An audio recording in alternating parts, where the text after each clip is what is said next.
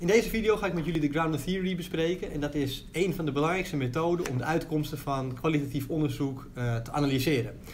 Nou, ter voorbereiding van deze video heb ik natuurlijk een kwalitatief onderzoek uitgevoerd. En zoals jullie weten, deze stond in het voorbeeld al bij uh, kwalitatieve dataverzameling. Dus deze heb ik uitgezet.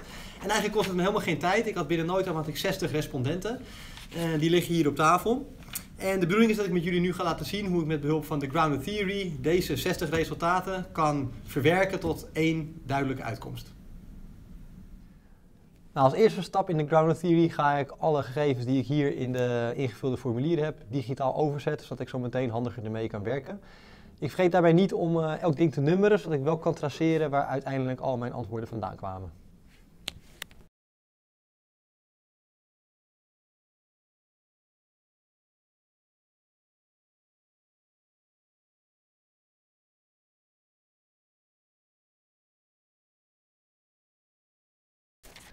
Oké, ik heb ze nu allemaal ingevoerd, dus uh, we kunnen nu zo meteen door mee gaan rekenen. Er is me opgevallen dat een aantal mensen volledig onzin hebben opgeschreven, dus die heb ik meteen genegeerd. Een aantal andere mensen hebben dingen opgeschreven die wel met het foto te maken hebben, maar duidelijk niet met waar ik naar op zoek ben. Uh, bijvoorbeeld mensen hebben, hoe grappig ook het erover gehad, dat uh, Thierry Baudet hier aan het basketballen is met het hoofd van een kalende meneer. die ga ik zo meteen doorstrepen. Ik ga ze niet weggooien, want je weet nooit waarom het nog nuttig zou kunnen zijn, maar voorlopig streep ik ze af als nuttige tekst. Oké, nu ik alles heb ingetypt, ga ik de tekst onderverdelen in fragmenten. Dat zijn uh, korte stukken waar de tekst uit de papieren uit bestaat. Uh, dat doe ik voor de traceerbaarheid, zodat ik ze later terug kan vinden. Vervolgens ga ik aan elk fragment ga ik één of misschien meer, maar hopelijk zo min mogelijk, keywords koppelen, oftewel coderingen. In deze stap heet dan ook coderen. Uh, en dat is al een stap waarin ik de informatie ga reduceren. Dus de bedoeling is dat we nu hele fragmenten tekst gaan terugbrengen tot een enkel aantal keywords waar we vervolgens mee gaan dooranalyseren.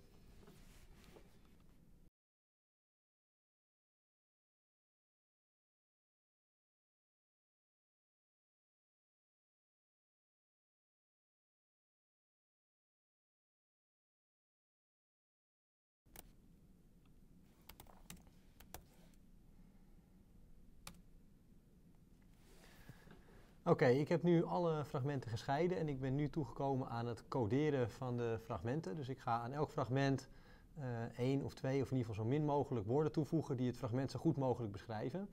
Daarbij ga ik rekening houden dat sommige fragmenten in, uh, positief bedoeld zijn en andere negatief bedoeld. Dus ik ga per, uh, per keyword bijhouden of het een plusje of een minnetje heeft, positief of negatief bedoeld. En ik heb al gezien, bij sommige gevallen is het in het ene fragment wordt iets positief bedoeld, in hetzelfde keyword in andere fragmenten negatief. Uh, dus daar ga ik nu mee aan de slag. Bij het coderen is het belangrijk dat als hetzelfde begrip gebruikt wordt, ik ook hetzelfde woord gebruik, want anders gaan we nooit meer overlap krijgen. En dat is precies wat we wel willen. We willen zometeen al de fragmenten met hetzelfde codewoord gaan samenvoegen tot één voorkomen van die specifieke code.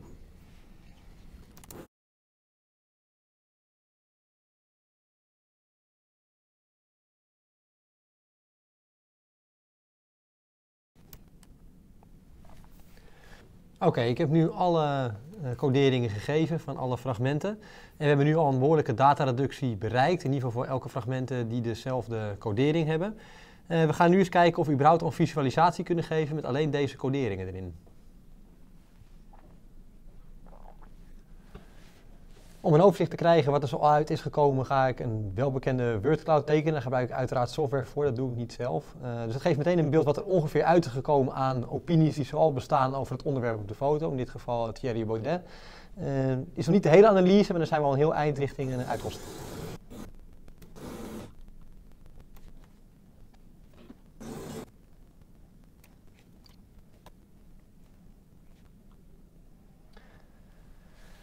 Oké, zoals je kan zien ben ik nu al een heel eind op weg met mijn analyse. Uh, je hebt hier een woordklad waarbij de grote woorden uiteraard woorden zijn die vaker voorkomen en kleine woorden uiteraard woorden zijn die minder vaak komen. Dus dit is een goede samenvatting van wat er tot nu toe uit de analyse is gekomen.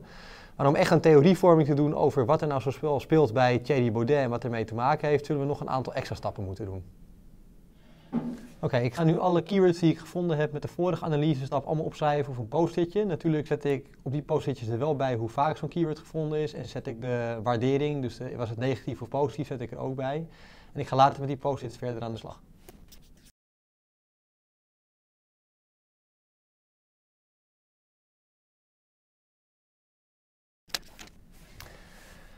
Oké, ik heb nu alle keywords op de post-it gezet en die ga ik nu op een uh, bord plakken en daar ga ik hopelijk iets slims mee doen. Oké, wat ik nu ga doen is ik ga al die post-itjes dus op dit bord plakken en ik ga de post-its die bij elkaar horen, die over hetzelfde gelijke te gaan, ga ik bij elkaar plakken.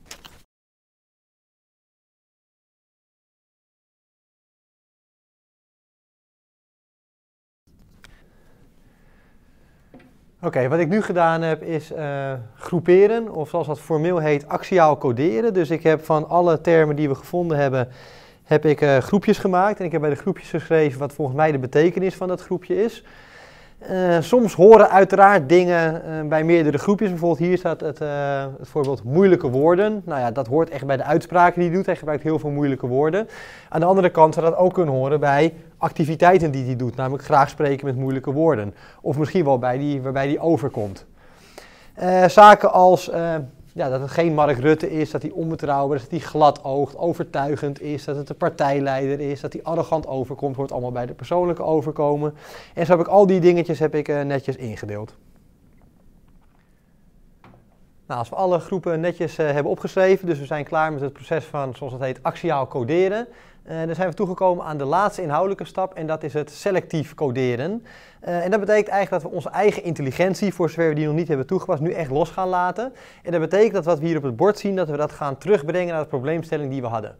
Nou, stel je voor, we hebben dit meetmiddel ingezet om erachter te komen uh, hoe we Thierry Baudet's performance kunnen verbeteren.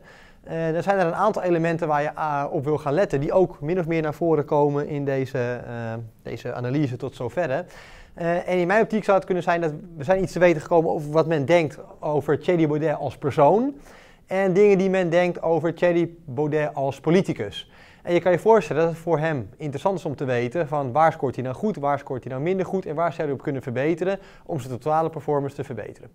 Dus ik ga het bord nu een klein beetje herangschikken en ik ga die selectieve coderingsstap doen. En dat betekent het toevoegen van een extra hiërarchische laag in het diagram, uh, zodat we beter kunnen zien waar we het over hebben.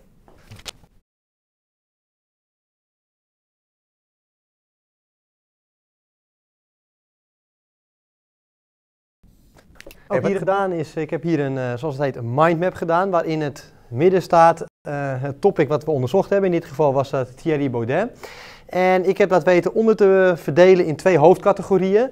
Uh, namelijk wat men vond over Thierry Baudet als persoon en wat men vond van zijn politiek. Nou, ik heb ook nog een klein subvakje wat men vond over zijn partij. Ik weet niet of dat relevant is voor het onderzoek, maar er werden wel een aantal dingen over gezegd.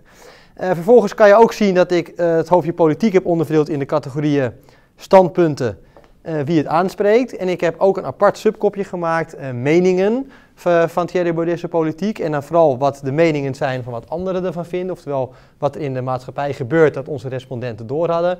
En wat de respondenten zelf vinden van zijn politiek. Nou, uiteraard is het ook mogelijk om behalve deze superhierarchische structuur ook nog wat uh, coderingen met elkaar te verbinden los van deze structuur. zo kan je bijvoorbeeld voorstellen dat de meningen uh, en de persoon werden vaak regelmatig samen in een fragment uh, genoemd. En dus is het handig dat we die kennis over die fragmenten nu nog bij de hand hebben.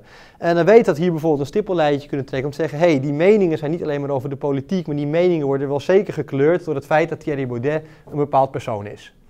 Nou, de laatste stap die we, wat we kunnen doen met deze mindmap is deze mindmap even netjes omzetten in een goed plaatje. Dus dat zal ik zo met jullie gaan doen. Nou, ik ga nu de mindmap die we net gemaakt hebben op het whiteboard ga ik omzetten in een stuk software, zodat het wat mooier wordt en overzichtelijker. En ook dat daadwerkelijk kunnen zien wat ook alweer de keywords waren die we hadden.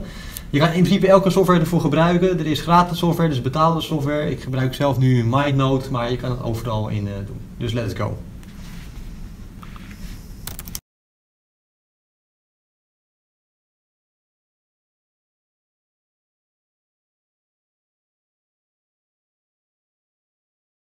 Oké, okay, ik heb nu een map gemaakt. Ik heb nog geprobeerd om een beetje te verschuiven. Dat is me niet helemaal gelukt. Maar in ieder geval geeft deze mindmap een redelijk duidelijk beeld over wat er zo over Thierry, Thierry Baudet gevonden kan worden.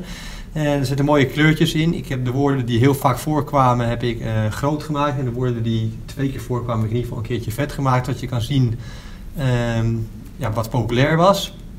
Ik heb bij sommige heb ik plusjes erbij gezet dat de mening was dat het goed was. En soms minnetjes erbij gezet als het verkeerd was soms allebei als het tegenstrijdig was. Dus in principe zou deze mindmap een heel mooi beeld moeten geven wat uiteindelijk uit de analyse is gekomen. nu we een mooie mindmap hebben als eindresultaat van onze analyse, die zeer lang heeft geduurd, uh, zijn we er nog niet helemaal. We zullen uiteindelijk ook dit resultaat moeten presenteren in ons onderzoeksverslag. En daarbij is het van belang dat we niet alleen maar dat mooie plaatje gaan presenteren, dat natuurlijk wel het meeste overzicht geeft, maar nog twee extra dingetjes gaan doen. Namelijk, we willen ook de lezer een klein beetje aan de hand nemen en hem de weg wijzen wat de lezer moet zien aan dat mooie plaatje. Dus geef een korte beschrijving bij het plaatje wat de elementen zijn uh, waar de lezer moet gaan letten om zo meteen in je conclusie goed te kunnen volgen wat de uitkomsten zijn van het onderzoek. Daarnaast is het gebruikelijk om de mindmap te onderbouwen met een aantal van die fragmenten waar we in eerste instantie mee begonnen zijn. Wij weten natuurlijk dat deze dingen allemaal van de fragmenten vandaan komen, maar voor de lezer is het onduidelijk, dus het is fijn om je mindmap in te kleuren en een klein beetje te ondersteunen en bewijzen door het noemen van wat fragmenten. Dus als je bijvoorbeeld beweert van nou, de, de categorie overkomen van het persoon is hartstikke belangrijk, want er werd heel vaak gezegd dat iemand onbetrouwbaar was, dan is het wel fijn om daarbij één of twee korte fragmenten te noemen van wat er dan zoal gezegd werd over deze persoon. Samenvattend, het proces van de grounded theory, oftewel de analyse van kwalitatief materiaal, is vrij tijdrovend en lastig, maar geeft uiteindelijk hele duidelijke resultaten om goed hypothese te kunnen vormen over een bepaald onderwerp. Het bestaat uit een aantal stappen. Eerst het opsplitsen in fragmenten, dan het coderen, vervolgens het groeperen of het axiaal coderen, dan je intelligentie erin te stoppen met het selectief coderen en het tekenen van een mindmap, die we vervolgens weer ondersteunen met een korte beschrijving en met een aantal fragmenten ter bewijs. In de volgende twee video's ga ik met jullie bespreken hoe je een kwantitatieve analyse uitvoert.